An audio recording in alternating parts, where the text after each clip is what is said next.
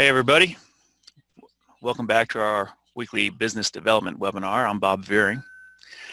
Uh, I'm excited about today's presenter because he can help with the one thing that almost everyone needs, getting and keeping customers. Kirk King is the president of Continuity Programs. His company provides, among other things, an automated marketing system for contractors that makes it easy to generate leads, referrals, testimonials. I haven't met Kirk in person, but I've been hearing good things about his company. They're a Roundtable Rewards vendor, so they offer rebates on most of their services. So if you're going to use them, make sure you uh, submit that to the rebate program. Uh, Kirk's going to share a number of strategies that will help you grow and improve customer retention. Um, if you'd like to submit questions, feel free. Uh, use the Q&A button, and then once Kirk concludes his presentation, he'll address those questions. So let's get this show on the road. Here's Kirk. Hello, everyone, and thank you for your time. I know time is valuable, especially running businesses. I run my own, and uh, there's never enough time in the day.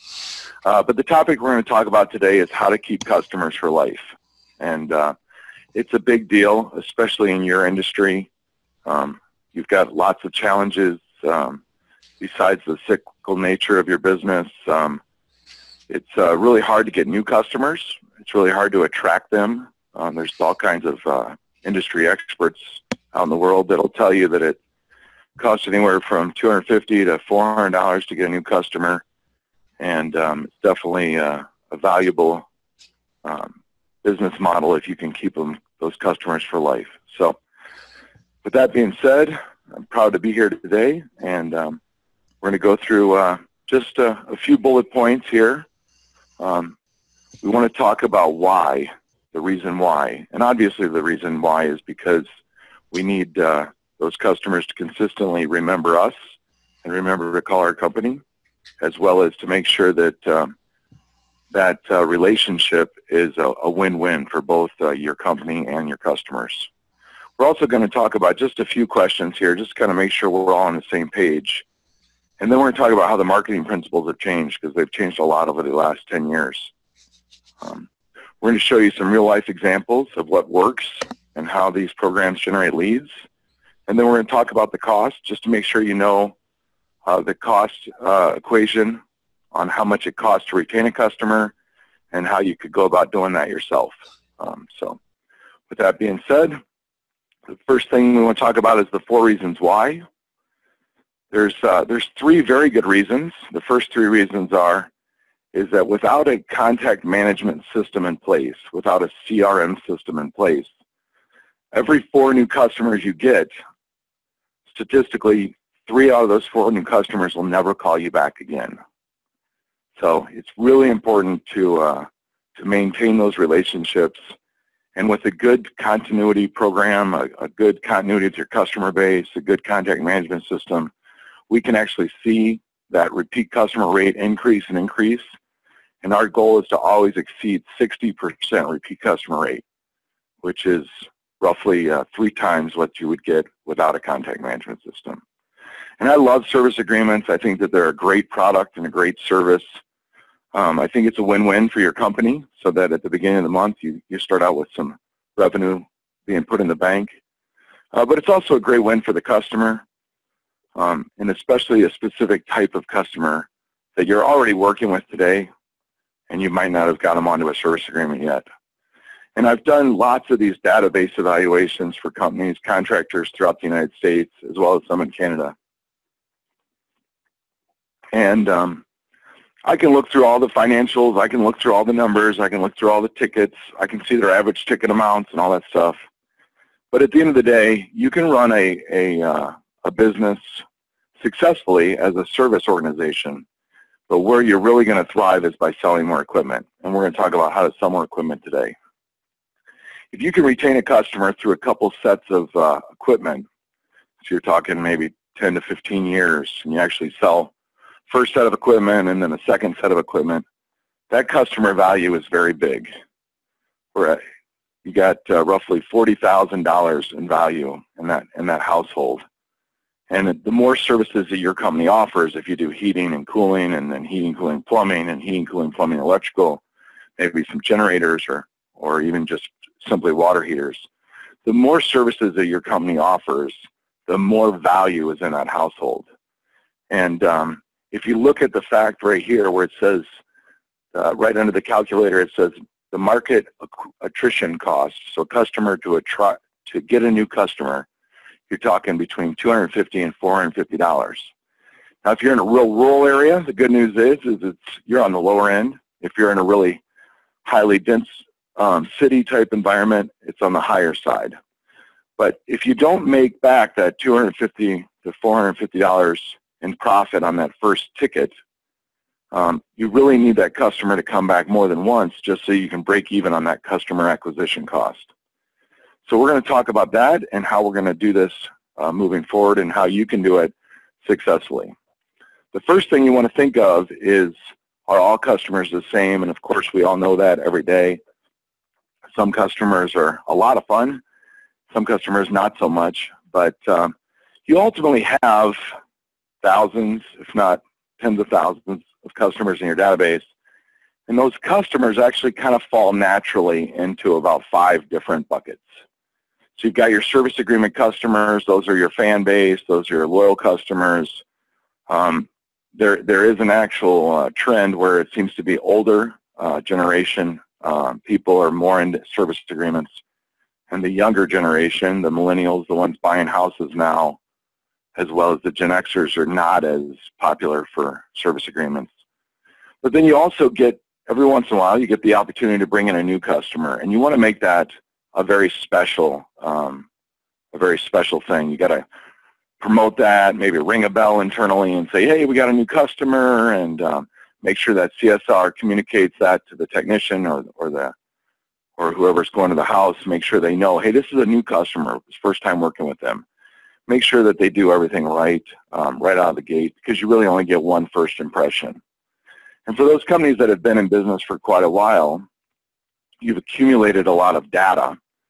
And um, if you've been relatively diligent at recording the install dates, maybe equipment that you've installed, but also kind of getting your technicians into a habit that anytime they're in the house, you know, recording down, because there's usually stickers on the equipment, recording down when the equipment is installed is an extremely powerful piece of information. So if you're not doing that today, please start doing it um, tomorrow because um, just having that information is going to allow you to to really fish in a bucket and kind of predict how many new pieces of equipment you're going to sell every year.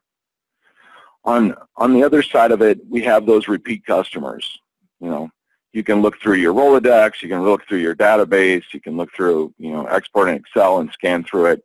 And you can see that these, these certain level of customers consistently buy from you at least once a year. That is the ideal customer to be, to be pitching the service agreement to because not only can you save them money, but you've also created that, that loyalty, that bond, that relationship with the customer that, um, that you can't, um, you can't really replace. Um, so getting those loyal repeat customers into a service agreement is a win-win for both you and the customer. And then last but not least, you know, we talk about um, selling more equipment. Um, and a customer with, with really old equipment, um, we know what's going to happen, right? We know either they're going to replace the equipment or they're going to have high dollar uh, repairs. So making sure that you're kind of looking at your customer in these five windows and saying, hey, where does this customer fit? And then hopefully those new customers become repeat customers. Those repeat customers become service agreement customers. And you consistently are selling more and more equipment as well as maintaining, you know, top class uh, service organizations. That's very powerful. The other question we want to ask ourselves is, is, you know, of course, do customers spend the same? And we, we all know the answer is no. And it's actually pretty shocking. Um, almost everything in life comes down to some kind of form of an 80-20 rule. But when we do the analysis and, and our, our contractors give us their entire database and we can scroll through all this stuff and we start um, kind of pulling the data apart and looking at it, it almost comes down to 20-80, which means 20% of those customers, those repeat customers, those service agreement customers, are really making up that 80% of your sales. So we know that there's a whole lot of value in there but there's also a whole lot of opportunity because if you've got only 20% of your customers generating 80% of your revenue, just a few more percent increase can make a big a big impact on your top line number as well as your profit number. The next question we ask ourselves is, is the sales process the same for every customer? Of course, we know the answer is no. Some customers um, want to do a, um, a tune-up and kind of, you know, build that level of trust. And um, although it probably happens every day, uh, we see an ongoing trend that there's usually two to three service calls before someone will invest in new equipment. So if you know that up front, understand that it's great to get that sale on the equipment, but you're probably going to have to fix the equipment a couple times. You're probably going to have to provide world-class service to that customer a couple times before they're willing to open up their their checkbook and, and write out checks for thousands of dollars worth of equipment. So it's just something to know that um, not every customer uh, follows the same process, but there is some consistency and some tracking through that. We also want to look at this and say, okay, if we know that there's five buckets of, of people, and we know some of those buckets kind of overlap and people move between those buckets, you wouldn't want to communicate with them all the same way. Um, and, and I, I, I, use this example all the time, and, and I guarantee you it's, it's happening today while we're on the phone. Uh, somebody's receiving mail um, giving them a special coupon for their uh, for their AC tune-up for those contractors that are ahead of the curve for their AC tune-up, and uh, they're on a service agreement. So you pretty much just told them, hey, don't don't pay that service agreement price. Let's just wait and get a coupon for a cheaper price. So we want to make sure that we're marketing the right message to the right audience. And for those for those of you who are older, like myself, and maybe even older than me, you've probably heard in the past that it takes you know a half a dozen times, six to seven times, for a customer to to really react to marketing. And unfortunately, that number is only growing over the last 10 years. You know, between social media and um, you know 4,000 channels between uh, Comcast and Netflix and everything in the world, um, as well as smartphones, customers are literally receiving hundreds of advertisements every day, which makes it even harder to kind of ring through and stay consistent.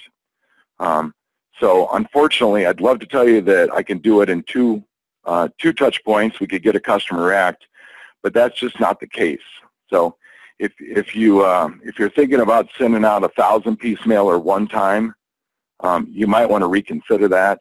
Uh, you you want to probably cut that number down by a fi- by five and send out 200 mailers, and then send out you know the same same 200 households send out that same mailer or slightly different mailer five different times because you know it's hard to ring through. Now the great news is you guys mostly, most, most everybody on the phone's probably got trucks driving around, which is an awesome billboard. If anybody doesn't have their truck wrapped, uh, please give me a call. I'd like to put my company on your truck. Um, but um, the truth of it is, is that that can help with a couple of the impressions, but we also know everybody's extremely busy. We're all doing five things while we're driving a car, and we just need to make sure that everything is, is consistent. When you do have an exciting event like a new customer and you probably did this early on in your career. You probably did this when maybe when you first started your heating and cooling company or you bought your heating and cooling company.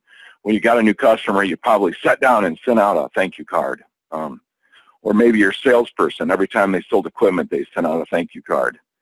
And everyone in the world has the best intentions, but the truth is, is that without a process in place, it's very hard to be consistent if if uh, if a salesperson has you know a dozen uh, thank you cards to write out for his customers that bought equipment in the last week, but he's got three appointments today, um, because traditionally they're commission based, they're going to be going to those appointments before they're writing out any thank you cards. So just understand a new customer is an exciting event. You got a $400 conversion that has now become a customer, and you want to make sure that you really wow them right out of the gate.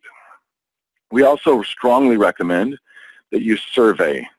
And, and a survey is very valuable because it gathers all kinds of information. But it, you also need a way for that, all those survey results to kind of be compiled and analyzed. And you can find out pretty quickly with, with surveying your customers Um, if you've got issues that you need to resolve, if you've got maybe one technician that, that is not um, the same as the other technicians. But the other, the other real value of surveying your service customers, especially a new customer, is just to make sure that everything went right. Um, you guys, you probably all travel, and, and you stay in hotels and you get back, you got rental car, uh, hotels, and airlines, and they're all sending you uh, surveys. And the reason they do that is because they know most of you won't fill them out. I don't fill them out anymore. Um, but they know that by sending you a survey, you're more likely to buy from them again because you feel like if there is an issue, you're going to be able to have your voice heard. And when we talk about that, we really want to make sure that every survey we're looking at three things, right? So we're, we're really looking at are they satisfied? Um, do they have, um, are they a high net promoter score? We also want to evaluate any strengths and weaknesses right away, but we also want to give the customer the ability to voice any, any options, you know, any opinions, any concerns. You would much rather a disgruntled customer blast you on a survey that only your company sees than to jump on Yelp and, and tell the world because that's going to cost you a lot more in the long run. And even though we're not um, we're not direct competitors to uh, to the companies out there that do the uh, online testimonials and the uh, the uh, various different review uh, organizations, when we do get a phenomenal testimonial um, that comes back on a survey, you really need to get that testimonial online. Uh, get it up there on your website, get it on your social media sites. Um, there's anytime you get a great word, you want to make sure that the world can see it and um, make sure that that just doesn't, you know, maybe you read it, but then you didn't do anything with that testimonial where you missed an opportunity to put that, broadcast that on the, on the World Wide Web just a few minutes and you got it done. And if you do get those referrals that come back, those testimonials that come back, um, we recommend that you keep it concise. You know, I, I, recommend you fix any spelling errors, but try to keep the message exactly the way it's written on a survey or typed onto a survey. Uh, also, we recommend abbreviating the customer's name and just listing the township that they're in. Uh, we don't need to be listing uh, the full customer's name and the mailing address uh, and then posting that online. So we recommend that you keep it professional and concise. But again, anytime you get a new customer, it's something to, to celebrate. And anytime you get an online review or a testimonial that you can publish, it's also an exciting time. Now, when we talk about uh, all the communication here throughout, um, throughout proven customer relationship management, contact management systems, um, it sounds elementary, but the more times you ask for referral, the more you will get them. Um, and every time you communicate uh, with a, a past customer or prospect, it's strongly encouraged that you would highlight all of your services. Um, many contractors have actually gone and added services but you know, less than 5% of their customer base actually realizes that they can now help them with plumbing or electrical or anything else. So my, my, my recommendation here on this slide is just simply make sure that you're asking for referrals on all of your communication with your, your past customers and even, even uh, referral partners, as well as make sure that you're highlighting all of your services because we want to make sure that everyone that you're communicating with knows who's the right company to call when they have an issue with whatever it is. We also have to ask ourselves, do we want to stand out? Do we want to be remembered? If you've got a huge marketing budget and you don't care, maybe, maybe you don't worry about standing out, and maybe you're willing to pay Google to be at the very top of the page. But that is very expensive.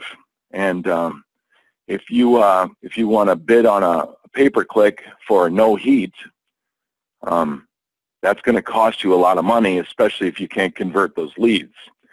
So you'd much rather have a past customer, you know, Googling, hey, I'm, I'm trying to get in touch with my customer, and they're actually Googling your company name. You'd much rather them Google your company name than than just um, stating the issue that they're having in, into a, a web browser. So it's a, it's a much better um, conversion for you. So we really want to look next at the data. Okay, um, data scares most people. Uh, it intimidates most people. Uh, most people are very bad at data. Um, when we look at uh, contractors' databases, you know, we can find, you know, 13 different, um, 13 different um, new contacts for the same household. So there's a lot of room for improvement, not only in your businesses, but in mine too. And uh, making sure that um, you're really building that, that data um, consistently and accurately, following best practices, making sure they're looking for that house before they just create a new contact in your, in your software.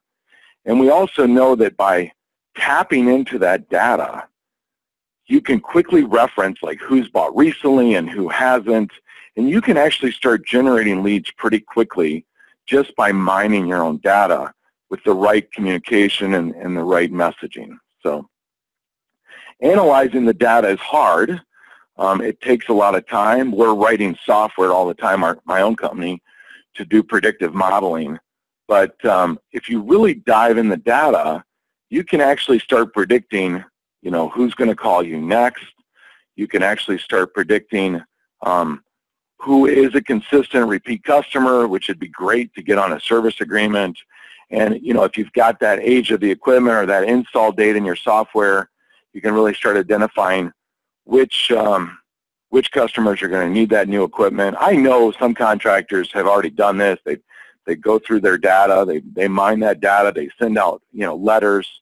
Um, but when you send that letter out, you need to consistently continue to communicate because when you send that letter out, they may not be having any problems and it may go right in the round file. Um, but you need to consistently communicate with the, with those customers and those that customers that you know have older equipment. Um, you need to be even a little bit more aggressive with that. And you don't know where your next referral is coming from. And in most cases, referrals are almost impossible to track um, you know, people get married, they change their name, and, and the sister gives a referral to somebody else. So you constantly have to be on your game. Every day when I'm walking up the stairs to come into my office, I always think it's game time because you've got to do the absolute best you can do to make sure that you're you're um, setting yourself up for more referrals and, and more repeat business. So, but really what we're talking about is really just segmenting your database. So if you're taking away anything from this from this presentation today. We're talking about segmenting your database and just sending the right message to the right audience. And it sounds simple, not always easy to do, but you can do it if you're if you're willing to spend a little bit of time and kind of work on the on the business and not in the business. Because there's a lot of opportunity also. Not just with repeat business on the same equipment, but cross-selling. You know, we have uh, air humidifiers and We've got air purifiers, and we've got all kinds of uh, additional services that could be uh, putting up sheet metal or you know maybe more insulation. I mean, we've got all these different services that we offer, but yet we're constantly just doing the same thing over and over again. And if we just communicated and let our customers really know all the different things that we have, uh, the more cross-selling we would have. And we know that for you to be really successful, you have to sell more equipment. Getting more service calls, obviously what you, what you want. That is what is kind of the foundation of your business. That's what keeps everybody's paycheck going. But selling more equipment is where you can really start growing and reinvesting in your company, spending more in marketing, hiring more people, maybe buying, uh, paying up a little bit for an employee that's worth it. And we also know that those service agreements, anytime you have a pattern between a repeat customer and you see that, hey, you know, Mrs. Jones calls us every year, um, but she's never been on a service agreement. Um, just taking that extra few minutes to explain the real value behind a service agreement is powerful.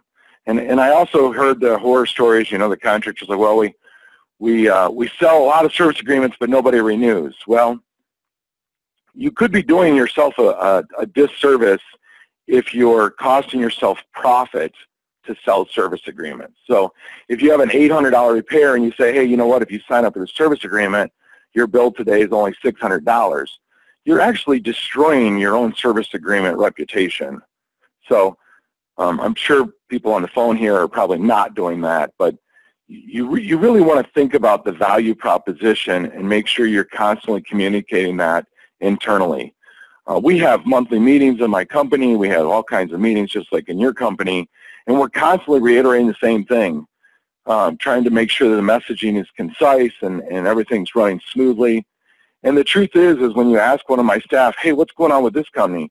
Most people don't even know what we're talking about. So just have to keep rinse and repeat, rinse and repeat, rinse and repeat, because you don't want somebody uh, to get a $10 spiff but destroy your service agreement value prop because that's going to make it much harder to sell in the long run. Now we also know that there are times, um, it might be this time of the year for your company depending on what state you're in, but there is times where you have to pony up and do the pay-per-click. Um, you've got you've got employees in the building, um, you don't have the phone's not ringing, and you have to just say, you know what, I got to throw some money at pay-per-click and try to get some get my guys out on the road, and and it's kind of a necessary evil nowadays, uh, especially during those non-peak uh, weather events. You, you just kind of have to step up and do that. But if you think about, if you could get only 20 calls a day, do you want those 20 calls to be somebody who saw an ad online who has no relationship with you? Or would you rather people call you back and say, hi, I'm a repeat customer and I've got a problem. Can you please come out? So the answer is, is that the leads that you're going to generate through a really solid CRM, customer relationship management system, is going to be far superior to the pay-per-click where you're going to get maybe one out of 10 or one out of 20 that actually will let you schedule an appointment, uh, schedule a service call. Again, I, I can't reiterate this enough. Your customers are really your salespeople. Um, when you do an awesome job for a customer and they don't feel like you overcharged and they feel like you were fair and they feel like you gave them options, those people are talking all the time. They're talking on social media. They're talking to their families. They're talking to their friends. They're talking to their coworkers. And you really want to make sure that you've got training in, in place for your staff. You want to make sure you're following best practices you're really wanting to do the absolute best job you can for every call, every tech, every service ticket, because those people are ultimately your salespeople. And those, those referrals are worth a lot more than somebody clicking on an ad that you paid, you know, $8 to get clicked on. So really what we want to do with a good, solid contact management system is to try to even it out, right? Um, there's no there's no way anyone in the world can say I can even it out 100% across all 12 months because your business um, is very much, you know, when it's really hot and really cold, you're working 18-hour days, and when it's not, you can actually go on vacation. So it's um, we can even it out with with really good principles and technician, you know, communication, getting those loyal customers to uh, and those service agreement customers to get their appointments and their preventative maintenance scheduled earlier in the year during not peak season. So you can do that with a good communication system. But there's always going to be that extreme weather that's going to put you into uh, into uh, crunch mode. So it's just I, I can't I haven't seen anybody in the world be able to kind of pull it off and even it out more more uh, consistently across 12 months. So when you think about a communication system, and this is maybe for a repeat business customer or maybe a brand new customer, you really want to start out with a very concise um, marketing um, type of campaign, a very simple, clear communication system, and you have to do it consistently. You know, we, we see this all the time where, oh, this CSR also does our marketing, and then the phones blow up, and, and they don't send out the mailer, or they send out the spring postcard in the summer, um, if they even do send it out, sometimes they get so far past that point of the year and they go, I oh, will just skip it this time. And you really need to consistently communicate with the same branding, the same image, uh, the same the same style. Um, this is not a sprint. This is very much a marathon. You've got uh, your really your goal is is to take that database of yours and get it get it spot on, get it organized, get it cleaned up, and you're really looking for 60 to 75% of your customers buying from you at least once a year. Um, I've heard other people say this, and the data doesn't lie. The data shows the same thing. If, if they're not buying from you in three years, they're probably buying from somebody else. So um, you don't have that luxury of saying, okay, I'm going to send out a mailer every four years or, you know, once a year, and hopefully they're going to remember me because you also get in a situation where the wife gets the mailer, but the husband schedules a call or vice versa. I know most um, service calls are scheduled by the females, but my, my point is is that you have to be consistent and communicate. And the messaging on a on a simple customer relationship platform should have a very small call to action. You're talking 20 $25. Um, I've had contractors do funny things like 29 29 loyal customer discount. Uh, but you're looking at a very small call to action. And then the funny thing is, is half the people that got the coupon and called your company, they don't even turn the coupon in to save the money. So then you say, well, okay, if they're not even going to use the coupon, why would I send one out? Well, the reason you put that $25 off is because you want to be able to put an expiration date with that with that offer. And when you put an expiration date on an offer, you ultimately added shelf life to that marketing. So if you give somebody two two months to um, to use their $25 coupon, guess what? They don't know if their furnace is going to work next week, and they don't know if their air conditioning unit is going to work next week. So they're going to put that postcard on the table. They're going to put that postcard on the counter. They're going to save that email in their inbox. They're going to save that communication. They may even, you know, magnet it right to the refrigerator, which is just awesome when I see that happen all the time. Um, but you really, the reason you're putting a small call to action on a customer is because they're a repeat customer or a new customer. Um, you're not expecting to have a problem. Maybe you just provided service, but you're wanting them to constantly remember, hey, save this. Keep this around so that in the event you have an issue, make sure you call us first. Don't go to Google and pay-per-click uh, because I may not have the biggest pay-per-click budget that week, and then you're going to go to my competitor. So save this communication, and, and let's, um, when you do call, let me know you got that $25 off coupon so that we know that you're a repeat customer and we can get you priority service. The next thing that we, we call the intelligent database, and unfortunately, um, at least my experience so far, I've been here almost seven years, is only about 10% of the contractors um, actually have enough data for us to be able to facilitate an intelligent database program. But really, when you think about, you know, doing a, an aggressive campaign like this, where you're talking about, you know, practically a dozen mailers a year and a dozen emails a year and, and surveys and all kinds of stuff, you're really fishing in a bucket is what you're doing. You know that that is not a service agreement customer you know that that customer has older equipment and you know what you're you're ponying up you're paying an extra extra 30 40 50 cents uh, a month to market to that customer. Um, and you and you're really wanting to segment that data out right? You don't want them to get the other communication. You want them to get the communication that's very focused on either a high ticket repair or replacement. So if you're going to segment your database and you're going to focus on those non-service agreement customers with older equipment, um, you kind of got to go big or you got to go home. Um, you need to have a higher call to action, maybe a $100 off a repair. And, and I've seen guys do it with limits, so you can say $100 off with at least a $300 repair.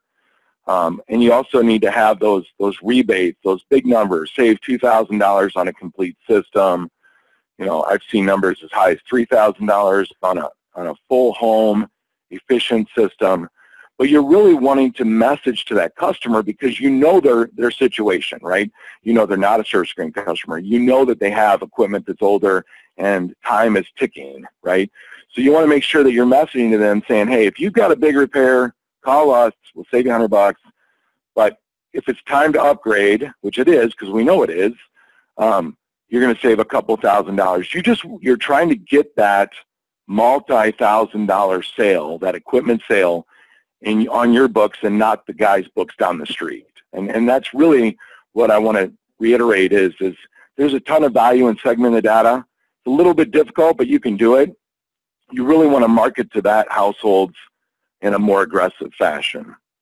And then we have to we have to talk about those people that you just installed new equipment for. So they bought, you can ring the bell in your office, uh, they bought a furnace and an AC combination unit, maybe you did a little bit of ductwork cleanup or sealed some ducts or whatever. They paid up, right? They gave you six, ten grand, whatever the number is, I don't really care. Uh, but they've already bought, okay? So we don't want to send that person coupons anymore, okay? and, and I bet it's happened to many people on this phone, is you literally get a customer, you just installed a $7,000 unit, you, you installed it last week, and they got a coupon from you saying they could have saved a thousand bucks if they would have waited just three more days, right? And then you've not only destroyed that relationship, but you've also alienated that customer. So instead of them saying, hey, they showed up on time, they wore booties, they installed it in one day, they installed it the next morning, the company was awesome, they were reasonable, they gave me options, Instead of them saying that, them saying, hey, I got ripped off a $1,000 by this company because, you know, right after I had my system installed, then they offered a coupon and they wouldn't honor it, right? So please understand that segmenting the data, although it's a little bit of work, is really valuable because if you're going to spend $400 to get a new customer, you don't want to alienate that customer. The other thing is, is when they buy new equipment, Lord knows, we all hope that they're not going to need your services right away, right? I mean, they just bought a new system, hopefully Trane and Carrier and, and, and Rheem and Ruud and, and all those guys, you know, made great equipment and they shouldn't have a problem for years to come. But there's also something psychological about this. The more money they spend with you, the more likely they are to refer you. And this whole system, if you communicate, if you segment that data, you take those install customers out of the normal marketing stream you message to them, you don't even need to include coupons. You just need to include the right messaging, like make sure you stay on a service agreement, make sure you're getting your equipment maintained. You know, the equipment nowadays is, you know, highly um, technical, it's very finicky, we need to maintain it. You would not want to void your warranty. With that kind of messaging, you don't have to put coupons on it. They've already bought the, the equipment. You just want to make sure that you're asking for them for referrals because they're the most likely the ones to give you referrals. But you're also wanting to make sure that you're telling them the right, the right thing to do. Get your equipment maintained, get your service agreement, stay on your service agreement, don't void your warranty. And that's a powerful enough message to get it to work. The other nice thing about those install customers is, is the more marketing you have going out to those install customers, that becomes a referral and repeat customer machine. So these people that invested $7,000 or $8,000 with you in the past, they're not going to be as price sensitive if they have a $400 repair where somebody else might. So you have to kind of look at your customer and say, these are my most valuable customers. They've given us the most amount of money. So you know what? I'm willing to invest a little bit of money. I'm willing to invest splitting the data up. I'm willing to invest doing a slightly different marketing campaign to that household because they already bought and they're they're my elite customers and those are the ones that are going to give me more referrals than anybody else. And these are just examples of how these systems work. The other thing I want to reiterate is is that all of these different programs that I just showed you, they're all personalized to an actual person. So not just Mr. John and Mary Smith, but they're personalized from the person who came to the house either the technician or the primary technician that came to the house that did the service. Also, um, the salesperson that sat at the kitchen table and, and explained those options or maybe stood at the counter and explained those options. Sending the communication from an actual person and not just from your company, according to the Direct Marketing Association of the United States, doubles your, your uh, effectiveness in your marketing. Doubles. Okay? Wouldn't we all like to double our results from our marketing? Well, just by taking that little bit of extra effort and adding a face to your company can double your marketing. It can double the results. So it's hard to track marketing. I, I know it is. But at the end of the day, the data doesn't lie. You know, our customers, at the end of our first year with our customers, we always say, let us do a, a database evaluation. Let us do a roll-up. Let's let us look at the data and see how many of these customers came back. how many of these customers came back and what did they buy? Did they get on service agreements or whatever? And when whenever we do one of these roll-ups, you know, the numbers are huge. I mean, they're just they're just crazy because just re-engaging with that 10% of your customers that practically forgot about your company can make a huge impact on your top line and your profit. And these are just a little bit of examples here. You know, we're still branding things for the company, right? I mean, it's all about your company. You want the brand to be consistent. You want it to match your website. You want it to represent uh, and mimic your, your trucks and your vans. But just taking it down one more level of a one-on-one, a one-to-one marketing is what they call this. One-to-one communication is extremely powerful because when, when a customer calls back, they say, you know what, I'm calling this company because they were fair last time, but really because Matt was so nice, right? Um, so just adding that different level of, of marketing, a little bit level of effort is also just big impact on, on the effectiveness of the marketing. And then we also have to talk about data, right? So data is, in my opinion, data is 75 uh, percent of the marketing. So, it, you know, the garbage in, garbage out is what people say, but you have to get into a, um, a routine of scrubbing your data, cleaning up your data, um, making sure that you're looking for people who've moved, uh, you're looking for, you know, addresses that are wrong. Um, making sure that that address in your database will standardize where they can add the zip 4 at the end of the five-digit zip. That can also give you not only a, a feeling of like, hey, I know I've got good marketing data, I've got good customer data, but it can also make sure that that piece gets delivered because about a year and a half, two years ago, the United States Postal Service um, incorporated intelligent barcodes. And um, that was a big deal for us, cost us a hundred grand. But at the end of the day, we can now track that the mailer actually got delivered to a house by using these intelligent barcodes. So there's a lot to it, but having good, clean data is going to help your marketing be more effective. Now, I tell people, I tell contractors all the time, that I believe the best way to get new customers is with through the website right? Through pay-per-click, through SEO, keeping your website high ranked in that area, in your service area. I believe that's the best way to get new customers. But if you're in a more rural area, print mail very much works. You just have to do bigger volume. You have to do bigger quantities. Um, you have to send out several hundred pieces and you have to do it multiple times over and over again. And when you're, if you're going to invest in marketing, to prospects. So these are not past customers, but prospects. Think of your customer, your potential customer, and make it easy for them. Give them a website on the, on the marketing that says, hey, you can go to this website and schedule my appointment. Go to this website and schedule uh, request information. Make sure your phone number is very clear and concise.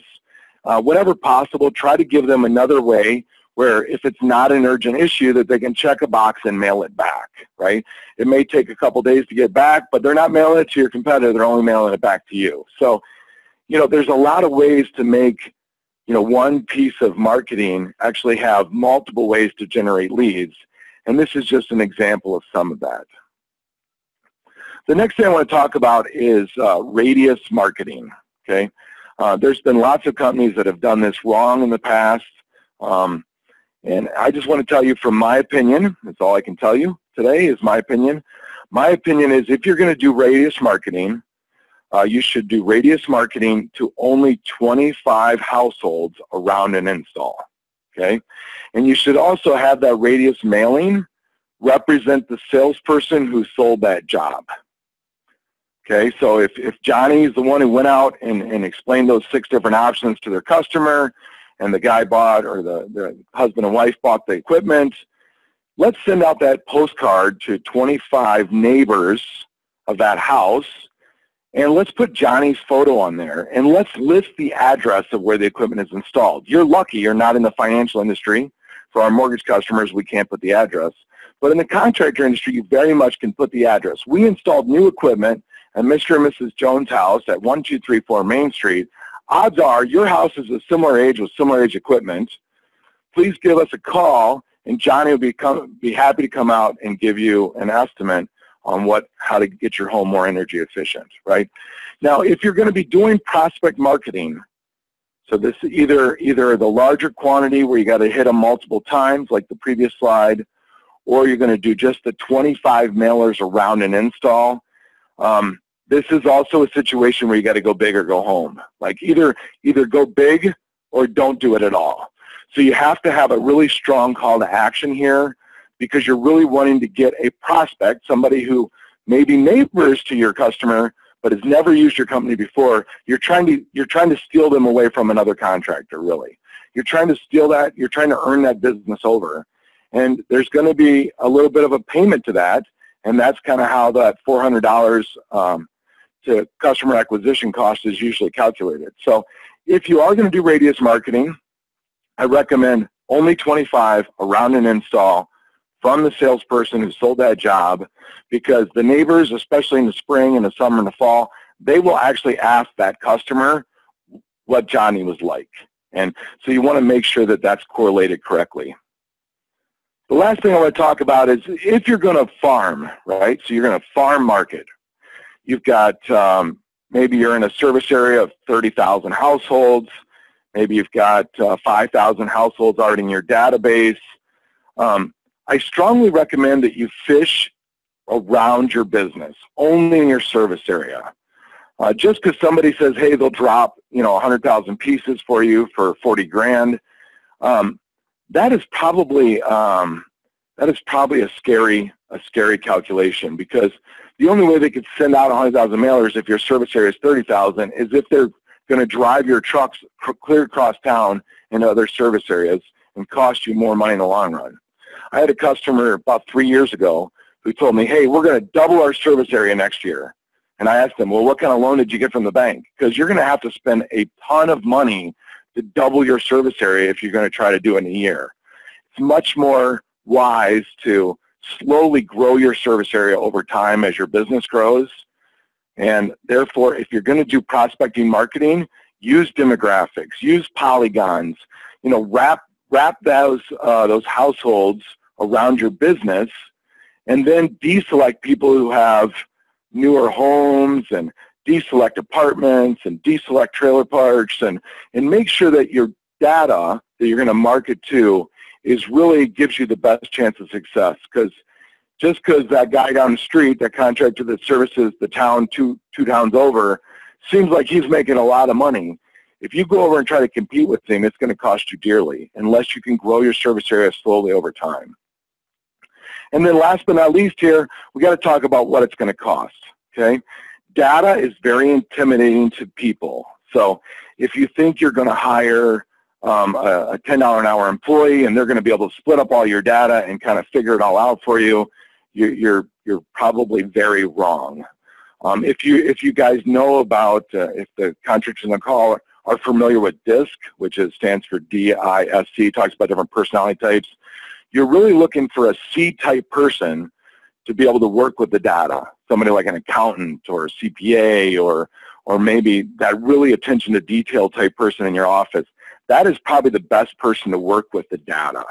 And then once they get the data out of your system, which can be a challenge in itself, once they get out of your system and they get it into different segments, then you're going to have to hire a marketing person a really good marketing person is going to be at least 60 grand.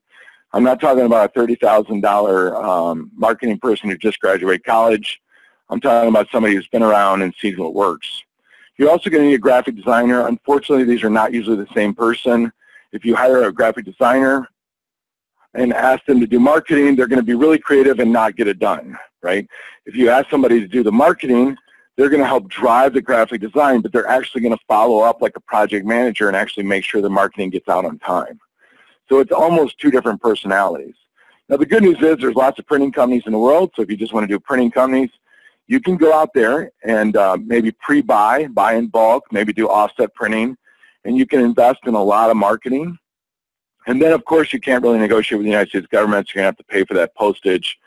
But you're going to also have to give that marketing person more tools, right? So you have to go, hire, uh, you know, get them some email marketing software, right? And then you're maybe have to get them some survey software.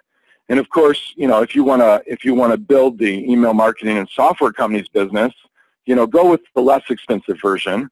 Um, but if you want to build your own business, you would want to get you'd want to pay up for that service to at least get their name off and your name at the bottom. And then the next thing is, is when you roll all this stuff all together, just to market, you know, to consistently to 5,000 households, um, maybe in four different buckets, you're really looking at at least $120,000 investment. And then, of course, if you do say, you know what, that's the right thing for me, we're going to spend 120 grand, we're going to do this, um, understand you've got to find the right person who knows what to do because if they're doing it wrong, it's going to cost you a lot more than 120 grand. And then, of course, there are companies like mine who can help you. Um, you know, we have software, systems, programming, and coding that can make this a lot less expensive. And just based on the fact that I've got more servers than employees, I have a hard time believing that you could do it less expensive. Before, before I close, I want to just leave you with one thought. The thought is, is that if you're on the cusp of switching software, okay, and again, I'm not, I'm not competing with these companies, but if you're considering switching software, please look at that software and see how easy it is to export data. These companies make it pretty easy. These software platforms make it really easy to get the data out. But whatever software you want to switch to, I don't really care.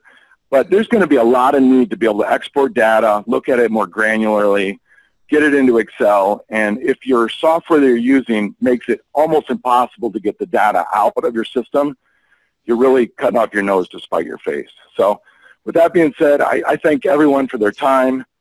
Um, got about 10 minutes there for questions, and I'll be happy to answer any question you want to ask. Well, Kirk, that was uh, that was really good. Um, um, my background's primarily in marketing, and uh, I was uh, glued to my computer screen. I thought that you did a great job. Um, Thank you, sir.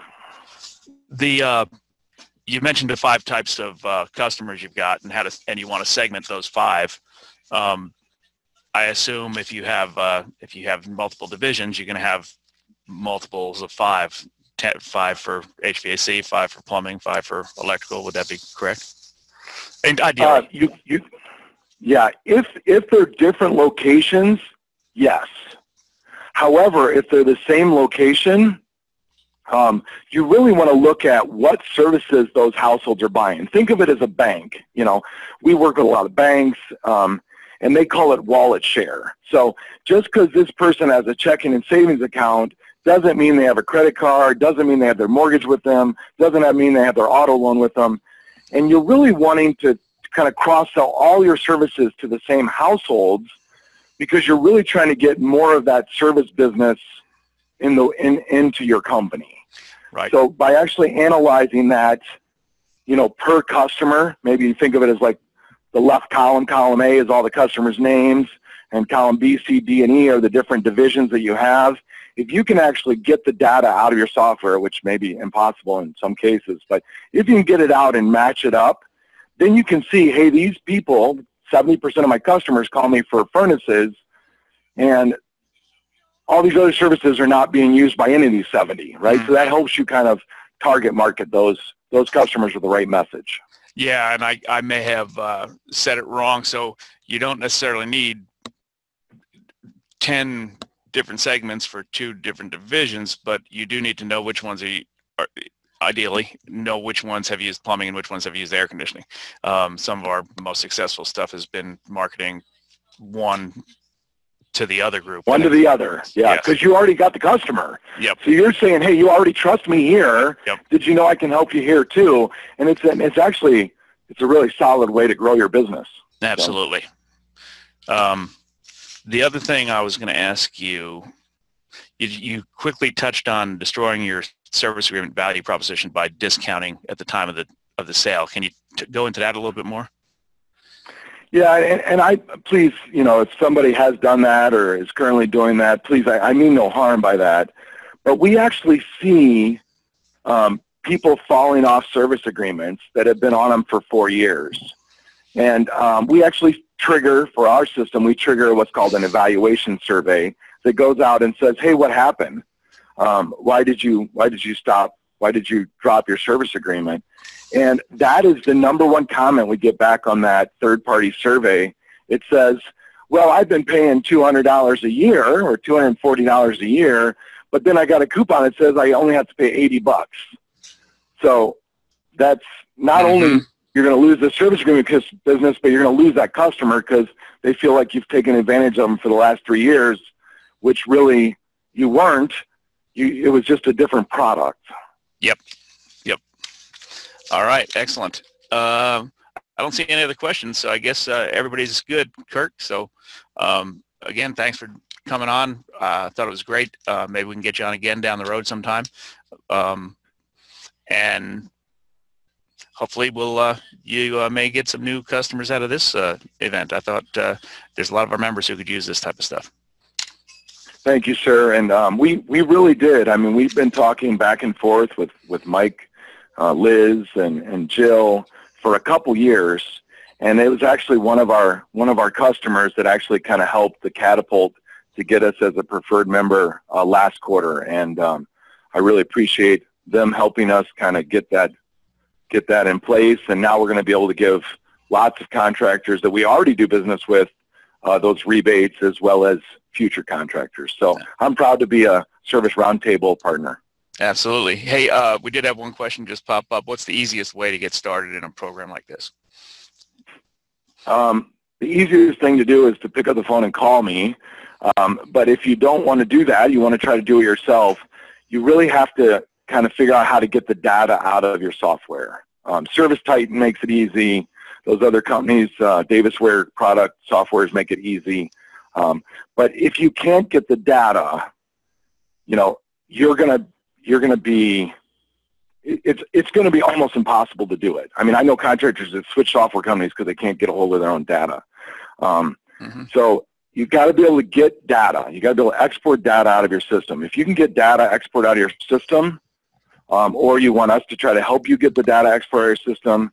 We haven't found a system we couldn't export, but like one one software company, um, I don't want to say their name, um, but they make it virtually impossible. We have to export four different reports and then merge them all together to get the data all in one in one spreadsheet. So mm-hmm. it, getting the hold of the data, if you're going to do it yourself, is the number one step. Um, if you want uh, somebody to help you, like my company, uh, probably just picking up the 800 number and calling us, and, and somebody will get you on the phone with me, and I will work with the, you to get it to get it implemented. Okay, so the uh, actually uh, the follow up to that from the same person was, uh, no, I wear too many hats already. I'll just let you do it. So uh, the uh, uh, he can go, he can call any of these numbers or emails here. He can go to the Roundtable Rewards page to to get more information about the company. Um, so uh, Clint, if you do need help, just let me know. Um, and then uh, he, they asked, um, can you give an idea what the average cost would be monthly for something like this? I know there's multiple levels to it and things like that. Uh, Kirk, what, what would you say to that question? Um, yeah, so all of our all of our campaigns, all the ones I showed you, is less than a dollar a household per month. Okay, so if you're talking about an install or, or intelligent or, or database program or even mailing to prospects, those are all like a dollar per household, right? So per month. So the, the thing that scares contractors, and it happens to me all the time, here I'm an honest guy, I say it's about a dollar or less a household, is they go, oh my God, I got 30,000 customers in my database. You know, I can't afford 30 grand a month. And the truth is, is once we get a hold of the data and we analyze it and we consolidate all the duplicates, and then we actually go through and find out who moved and who died and who got divorced and who lives in Florida now. Once we get through cleaning all the data, and we do that for no cost, by the way. I mean, we do charge $500 to get started, but that's you know more just to set up the, the salespeople and techs in the system. Uh, but we clean up that data all up front um, and what ends up happening is, is we end up saying, hey, you can start here with, you know, a thousand bucks a month, and then we can grow together. Um, but the average, my average contractor is investing about 2500 a month. So. Okay. All right. Good. So it's not it's not it's not more expensive than hiring a person. I know that. yeah, definitely. Uh, all right. It looks like uh, that's a wrap, Kirk. So thank you guys for joining us, and uh, we'll be back here next week at 10:30. See y'all then. Thank you.